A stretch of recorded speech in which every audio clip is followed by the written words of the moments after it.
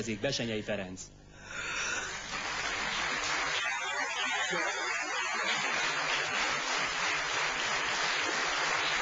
Marcikám, az Isten áldjon meg! Ki vagy szedd le? Ki vagy szegény anyát, ha látna? Mondaná kislányom, végséget elkurulta. Egyet, Jó estét kívánok! Szervusz. Ja, Istenem, na hát, Nagy találkozás, nagy pillanat? nagy találkozás. 10-15 évemnek a tanulja ez a lány. Borzasztó, 15 évig bírta a hisztériámat. Olyan zseniálisan, olyan. Hát, Hisztérikus a művész úr, meglehetősen? nem annyira, de azért, de azért eléggé kiszámíthatatlan vagyok. De olyan pontosan tudta, még azt is tudta, már tudta, amikor megszólalt a telefon, hogy ezt, ezt nem kell fölvenni, pedig még Igen? nem is tudta, hogy kell. Tudta, hogy mikor szabad, mit nem szabad, kit kell távol tartani, kit szabad odaengedni, kit szabad az utcába beengedni. Ilyen zseniális. a- Amíg Marcsi volt, addig például ügyelt a diétára, vagy volt módja üde, ügyelni? Édes kicsi angyam, olyan mazsolás, túrós palacsintát csinál, hogy a csáknak még mindig könybe lábad a szeme, hogyha rágondol. Tényleg? Olyan, olyan... És tojásrántottában vagy sült szalonnában volt Csak jobban? mind a kettő, mind, nagyszerű. Olyan, olyan rakott krumplikat főzött meg, olyan dolgot sütött, főzött meg, minden, minden, amikor ráértünk. De nem mindig értünk rám, állandóan uton voltunk, és ez nagyon fontos, kitöltötte az egész életünket, mert addig otthon ült és várt, hogy élve megérkezünk el. 4-500 kilométereket mentünk az országba. Igaz az, illetve ezt kérdezem Marcsikól vagy Marikától, hogy volt úgy, hogy a tenyeréből etette? Volt, megkóstoltatta velem a kagylót, amit soha életemben nem ettem. Magába erőszakolta? Igen. Azt mondta, kóstold meg, mami, finom, nem halsz meg. Én se haltam meg tőle, te se halsz Miért meg hívta tőle. egyébként maminak? Utá. Mert Nem. olyan mamis Olyan formám mamis. volt. Akkor is már? Akkor Igen. is, igen. Mindig ilyen mamis formás voltál.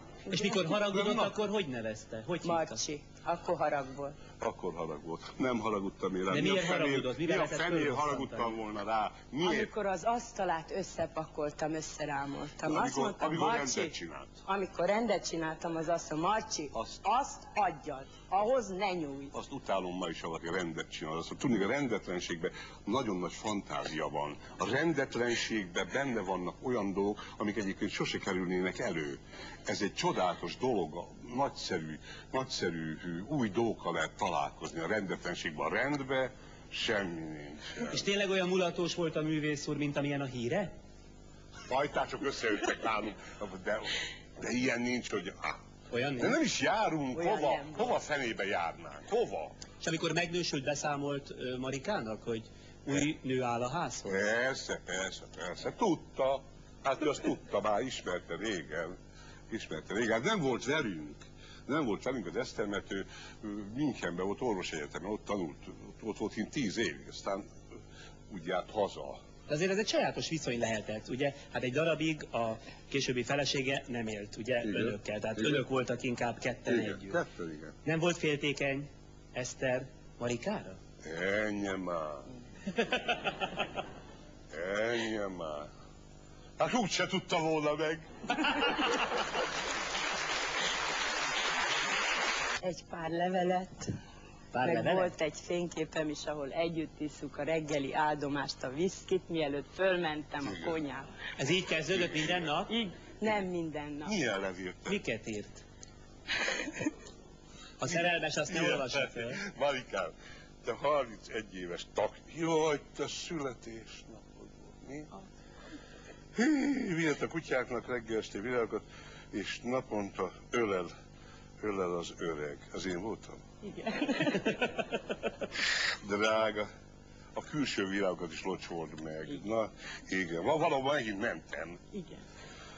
Az az, az csinál. Ezt így nem a- értjük. Pont, a palikám, patront szerez, szódát csinálj, a bor a hűtőbe, jó, Igen. igyál.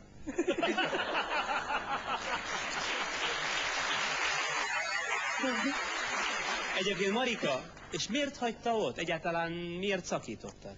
Hát elköltözött a művész úr Boros Jenőre, és az már nekem nagyon messze Igen, volt. itt van. Marikám, a lovagló nadrágomra gombot vart föl. Puszi. Akkor még ez is költ. Most is költ tulajdonképpen. Van, aki a Marika utódja lett? Nincsen. Nincsen. Nincsen. A kegyelmes asszony hazaköltözött Münchenből, ott hagyta az egész világot, és a néha, néha, itt lakom Pest egyébként, ő Lajos Mizsén parasztasszonyt játszik, és ír könyveket, ír, nagyon kegyetlen, jó könyveket. ír. És akkor bejön, hazajön hozzá, és elkezd porszívózni. Hát ne tudd meg, hogy micsoda borzasztó kínes kiállni. Akkor beindítja a porszívót. Minek? Hát egyedül vagyok itt egész. Érti? Ho? Nem hiszi, hogy egyedül vagyok. Köszönjük szépen!